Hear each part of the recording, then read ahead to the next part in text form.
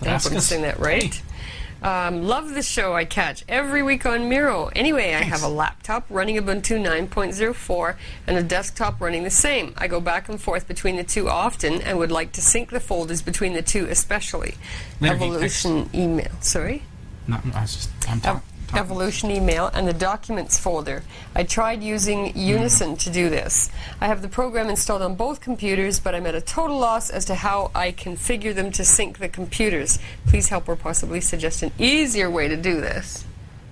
I think that, but there's so many variables. Like when you start syncing evolution, like I would almost go with IMAP protocol, so that you can sync to a server as opposed to syncing multiple computers. Because what happens is if you're using evolution and it downloads all the email from one computer, then you've got to sync to the other computer before that computer starts downloading email. Otherwise, they're going to get all mumble jumbled and things like that. So that can be be a mess. So I think IMAP for your email is a good thing.